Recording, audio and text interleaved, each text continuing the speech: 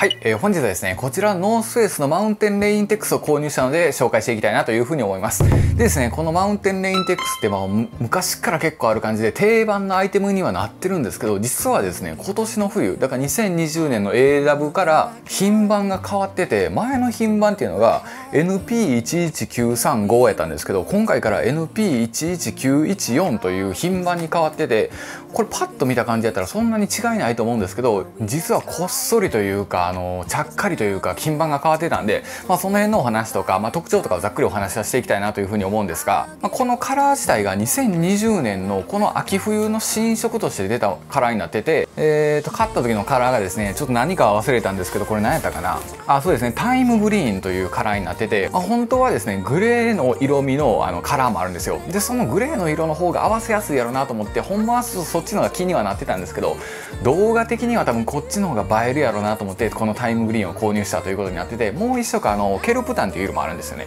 でケルプタンって色はもう鼻から除外しててもうケルプタンはもうええでって僕の中で思っててまあそれやったらちょっと秋冬っぽい感じで合わせれるようなタイムグリーンがいいかなと思って、まあ、今回ご紹介するということになってますので本日の流れとしてはですね、まあ、いつも通りまた特徴とかを見ていってでその次にデメリットとかを見ていってで次がおすすめの人ですねこのジャケットがどういう人に向いてますよみたいな感じのところまあ細かい部分なんですけどそういうところをも踏まえてお話ししていってで最後にサイズ感。僕が178センチなんですけど実際着用してみてどんな感じかっていうところでいきたいなというふうに思いますのでまずは特徴からいきたいなというふうに思います。でまあこれまあパッて見てもらったらですねもうすぐ分かると思うんですけどこれもうあのタグついてるんで分かりますがゴアテックスっていう生地のメーカーを使ってるのでとにかくどんな気候でも着れるんですよね。だからまあこういうペットボトルとかをもう全部ビシャーってかけたとしても中は絶対濡れへんし嵐が来ても絶対大丈夫やし雷が来ても大丈夫っていうことになってるのでまあゴアテックスの話しだしたら僕長いんですけど、まあ、今回ちょっと短めにはするんですけど、まあ、よくテレビとかのアナウンサーの人とかが台風のリポートとかする時にも着用できるようなこういうジャケットになってるので、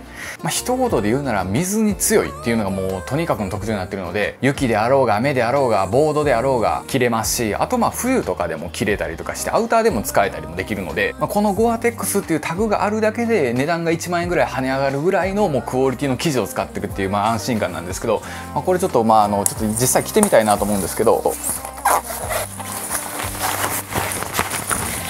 いやいいですね。なんか最近あのゴアテックスの話してへんくてずっとカバンの話ばっかりしてたからゴアテックスっていうのがなんかいいなっていうような感じが戻ってきましたけども。ゴアテックス特有のこのパリパリ感というかシャリシャリ感というか、まあ、この辺はいいですよね。でまあ、の次の特徴になるんですけどこれ次の特徴が何かというとですねこれ着たら分かるんですけど着用した時にこの襟元って結構高いと思うんですよね。でこの襟元が高くて基本的にこういうあの防水のジャケットってフードがついてあるやつが多いと思うんですけど実はこれもあのこの襟の中にフードが収納されててポチって開いてあげることでフードを出したりもできるのでそういう構造からこう襟元が高くなってるということになっててで、まあ、さらにこれもうちょっと考えられてるんですけどこれやっぱり冬場とかやったら襟元高いのってこう首にパッて当たったりしたらサブってなったりするじゃないですか。でそういうのがないようにしっかりこの首元首が当たるところっていうのにマイクロファイバーが設置されてるのでこの首元パッて当たったらこのモフモフ感というかふわふわ感というかサラサラ感というか、まあ、とにかく不快な気持ちがないんですよね。だからこうパッて羽織った時にこの首元が気持ちいいんですよ。なのでただこれ普通にビルドインフードって言ってこのフードを中に入れてるだけじゃなくてこの着用した時の内側まで考えられて作られてるっていうのはこれはいいですよね。これついついこう多分首を左右にしたくなるような生地感やと思いますけどもこれは多分購入されたら分かると思いますがああ気持ちいいってなると思うので、まあ、あんまりこんなことばっかりしてたらこいつとうとうやりよったなと思いますので全然変なもんを売ったりとかはしてないんですけどもまあそれぐらいこう気持ちいいのでこういう動作がしたくなるようなジャケットっていうことになっております。では実際フード出していきますかね。フードがどんな感じで出るかっていうことなんですけどここの襟元あるじゃないですか。でこの襟元のところの首の後ろのところにマジックテープがあるので、まあ、マジックテープというかテープがあるのでピッて外してあげるとこれがもう全部フードなんですよね。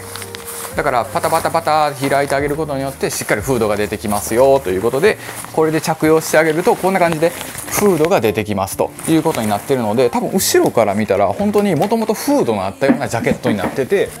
ちょっとマウンテンパーカーっぽく着たい人なんかはもうずっとフード出しててもいいかなと思うんですけどやっぱりこうフードが出ちゃうとちょっとカジュアル感が一気に出ますよね。いい意味でもノースフェイスらしさが出るし悪い意味で言うとちょっと子供っぽさが出るというかいうのがあるの思うので僕はあんまりフードは出さずに締まった状態で着用してモフモフ感を楽しみたいなと思います。これあのフードがやっぱないとペタンコになっちゃうんですよねこれ襟元が。であのモフモフ感に包まれたんやったらやっぱりこれはしっかり閉じた状態でああこれですこれです。この首の厚みというか厚みがあってこういう風にふわふわしてる感じになってるので。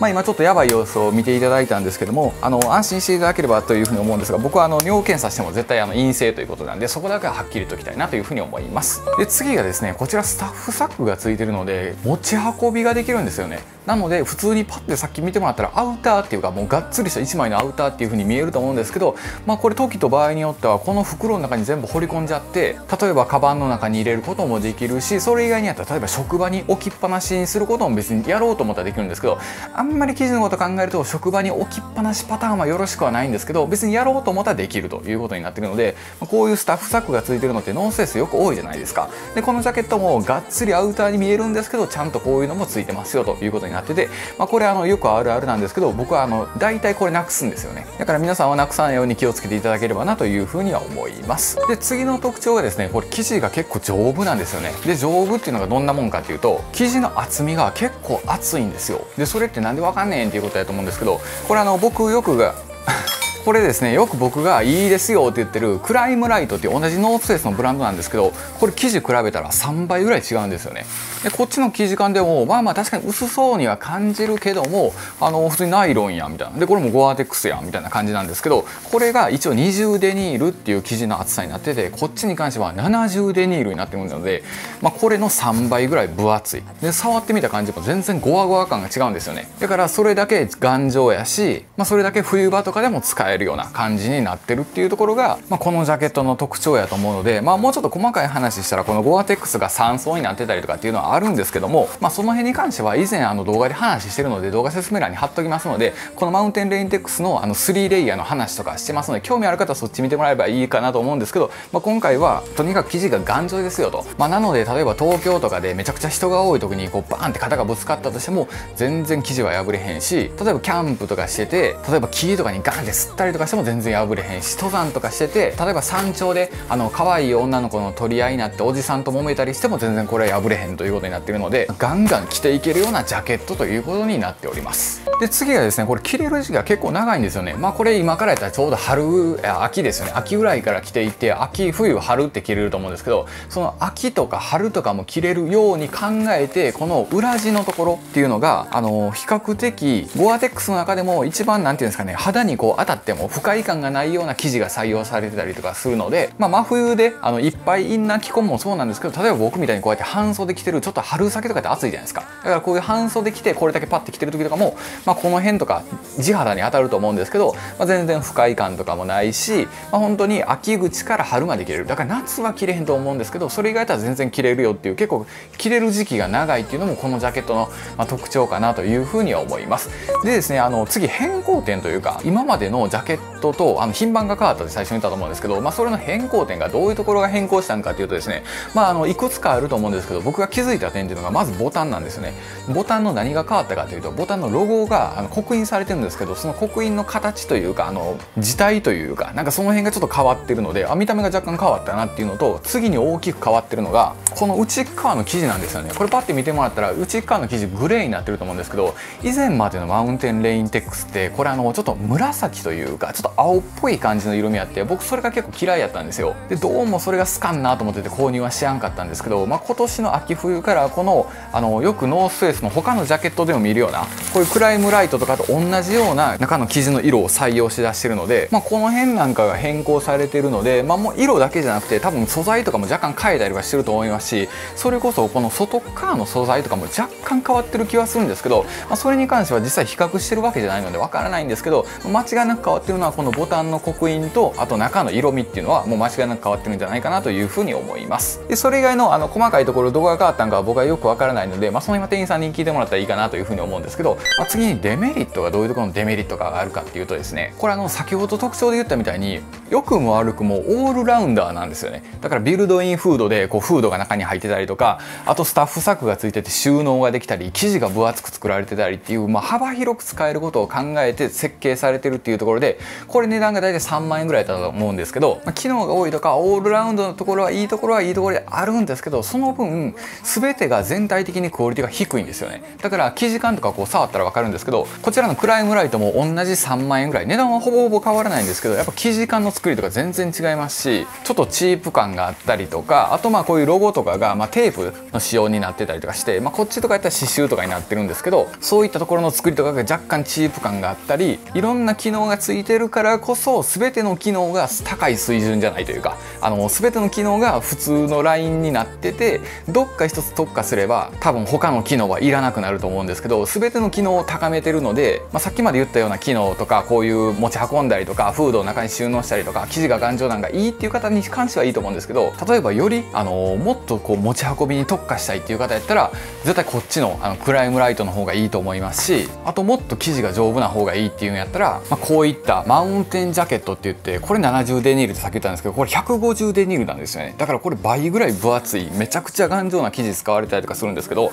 全体的に見てこう入門編というか初心者編みたいな感じになってるので3万円でこれだけの機能を作ろうと思うと少し全体的に作りがチープになっちゃうというか、まあ、そういったところがちょっとデメリットかなというふうに思ってて、まあ、もちろんこれが例えば5万円とかまで値段上がると全ての機能が高くてなおかつあの多機能というかいろんなことができると思うんですけど3万円で抑えようと思うと、まあ、これだけの機能を詰め込んじゃうとやっぱりどっかがこう低くなってくるというかあのクオリティが下がってくると思うので、まあ、そう考えるとよりその用途が決まってる人らからすると例えば持ち運びしたいねんって思ってはる方からしたらちょっと生地感安いなとかもっと頑丈な方がいいなと思ってはる方からしたらこのフードにかけるお金あるんやったらもうちょっと止水ジップとか使ったらいいのになとかって思ったりする部分もあったりすると思うのでデメリットとしてはオールラウンドやからこそ余計全体的に、えー、そんなに高いスペックじゃないということになってるかなというふうには思います、まあ、なので逆におすすめの人がどういう人かっていうとですねあのいろんなところで使いたいいろんな機能を使いたいっていう方なんかにはもうぴったりやと思うのであの特別雨用に使いたいとか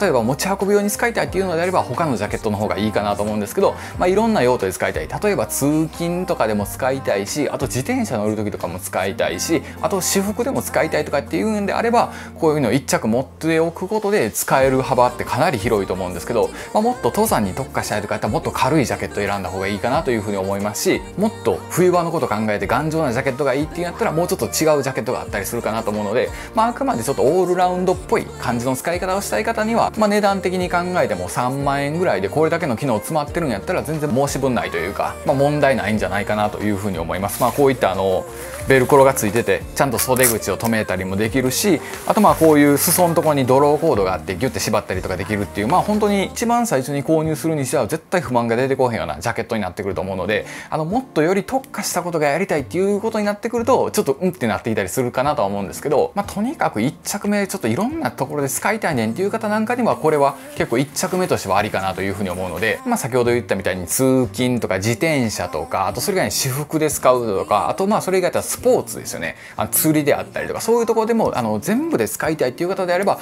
これ1着持っとくだけでこの4役ができたりとかもすると思うので、まあ、そういった方なんかにはおすすめかなというふうには思います。まあ、僕個人的にはやっぱりバイクとかで使うっていう貼る方やったらこういったマウンテンジャケットの方が着丈とかが長いんですよねだから多分あのバイクでこうやって座ってたりしても腰からあの雨とかが入ってこないと思うのでこういった方がいいと思いますしこっちの方がちょっと丈が短かったりするので、まあ、そういう細かい部分とか見ていくともうちょっとこう用途が具体的に分かるといろいろ進めれる部分はあると思うんですけど、まあ、とにかくオールラウンドやったらもうこれっていう感じかなというふうには思います。で次はですねサイズ感っていうところを見てもらいたいなと思うんですけどこれがですねちょっとあの身幅が狭いというかちょっとタイトめな作りになってて、まあ、本当にジャストで着たい方とかであれば、まあ、全然問題ないと思うんですけどちょっとゆったり着たい方とかやったらワンサイズ上げても問題ないかなというふうに思いますしまあちょっと着ていきたいなと思うんですけど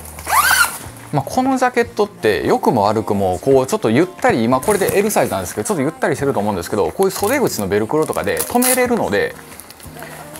まあ大きい分には全然問題ないんですよね。ここでピュッて止めてあげたりしたら全然切れると思うんですけど小さいとちょっと切ら切れないというかちょっと困っちゃうと思うので、ま、サイズとしてはいつものワンサイズ上でもいいし、まあ、いつもぐらいでもいいとは思うんですけど、まあ、こういったマウンテンジャケットとかって僕 M サイズなんですよね。でそれでももうちょっと大きく感じるのでこれは L サイズでちょっと細身やなと思うので、まあ、こういう身幅の部分とかがちょっと細い感じになってて中にこれやったら切れることは切れるんですけど今 T シャツを着ててこんな感じのゆったり感になってて、まあ、幅的には問題ないんですけど次袖が結構長いんですよね。身幅は細いんですけど袖が結構長いので、まあ、これはさっき言ったみたいにベルクロでどうにかなるので多少こうやって僕も余ってるんですけど余っててもこうやってベルクロでピュッて止めちゃえば止まりますので、まあ、そんなに気にすることはないかなと思うんですけどやっぱ丈とかはそんな長くなくて着丈をちょっと大きめに着たい方とかはもう1個サイズ上げてもいいと思うので僕やったら XL まで上げちゃっても着丈的にはいいんじゃないかなと思います。でこれですね今は T シャツだけで着てるんですけどこれに関してはもう全然中にフリースでも着れるしインナーダウンでも全然着ても問題ないんですけど、まあ、このジャケットのサイズ感としてはとにかく身幅が細くて着丈が短い。やけど袖は長いという風に思ってもらっていいので、まあ、袖に関しては止めたらいい。ただ着丈に関してはサイズを上げないと伸ばしてこないということになってるので、まあ、サイズはちょっとあの着丈ベースでするのかそれとも身幅ベースで考えるのかっていうのはま人によるとは思うんですけど多分一番その辺が悩ましい部分じゃないかなというふうには思います。はいということになってですねまあ僕個人的なおすすめとしてはやっぱりカラーはですねまあ、このカラーも全然いいとは思うんですけどやっぱグレーが今までなくてブラックっていうのがあったんですけどグレーっていうちょっと黒に近いけどもなんか大人っぽい感じっていうのがパッて見た瞬間めっちゃいいやんと思ったけどただ動画映えせえへんなと思って、まあ、この色を今回はチョイスしたんですが、まあ、別にこの色もデニムでも合うしチノパンでも合うしグレーのパンツでも合うし何でも合うと思うんですけど、まあ、個人的におすすめなのは正式名称忘れましたがそのなんとかグレーっていうのは良かったなというふうにちょっと思っております。はい、ということになってますので、えっと、本日はですねノースフェイスのマウンテンレイテックスを紹介してみたという動画になってます。また別動画でお会いしましょう。ありがとうございました「